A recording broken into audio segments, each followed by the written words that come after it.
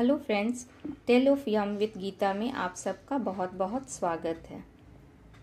आजकल हरे मटर बाज़ार में बहुत मिल रहे हैं तो इसे स्टोर हम कैसे करें साल भर के लिए, आज मैं आप लोगों को बताऊँगी। ये देखिए, मैंने करीब हाफ़ के जी मटर लिया है और इसे मैंने अच्छी तरह से छील कर और पानी से धो लिया है। एक चीज़ का हमें ख़ास ख्याल रखना है कि अगर आपके मटर कोई ख़राब हो तो उन्हें डिस्कार्ड कर देना है। नहीं तो ये फिर बाकी मटर को ख़राब कर देगा।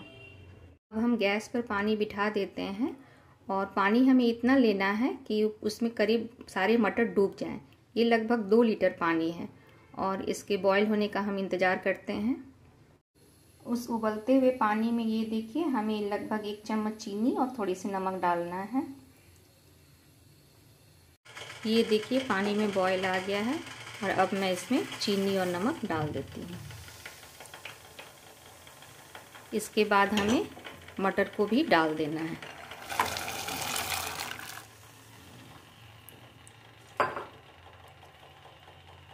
ये देखिए, मटर अभी हमारे सारे नीचे डूबे हुए हैं पानी में और हमें जैसे ही मटर, सारे मटर ऊपर आ जाएँगे तो हमें इसको फिर निकाल लेना है।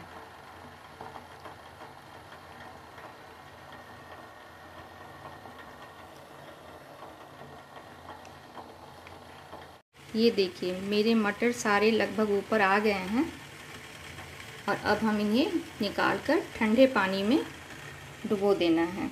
इससे क्या होता है कि इसका कुकिंग प्रोसेस रुक जाएगा और मटर ग्रीन के ग्रीन ही रहेंगे।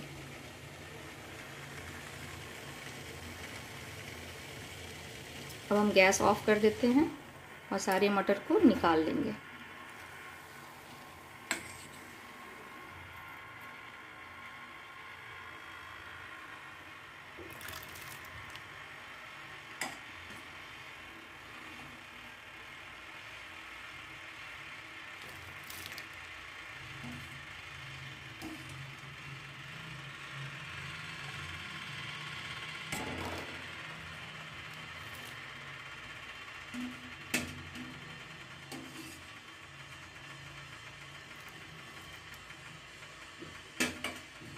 सारे मटर मेरे निकल गए।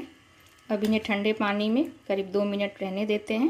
फिर इन्हें हम निकाल कर छान लेंगे और इसे फिर सुखा देंगे फ़ैन के नीचे। ये देखिए, मैंने सारे मटर को एक कॉटन कपड़े में बिछा दिया है और इसे सूखने देते हैं करीब एक दो घंटा फ़ैन के नीचे। जब ये सूख जाएँगे, तब हम इन्हें स्टोर करेंगे। ये देखिए, मटर अब मेरे सूख गए हैं। और अब मैं इन्हें एयर टाइट डब्बे में रखूँगी।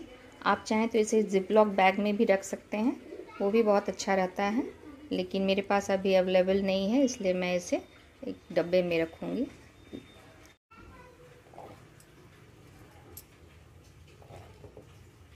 ये देखिए, मैंने मटर को सारे डब्बे में फिल कर दिया है।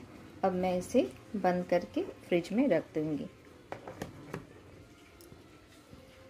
अब ये मटर बिल्कुल भी ख़राब नहीं होगा एक साल तक। आपको जब भी यूज़ करना हो, आप इसे फ्रीजर से निकालिए और फिर जितना यूज़ करना हो ले लीजिए और वापस इसे फ्रीजर में रख दीजिए। तो आपको अगर मेरा वीडियो अच्छा लगे तो please like, share and subscribe करें। Thank you.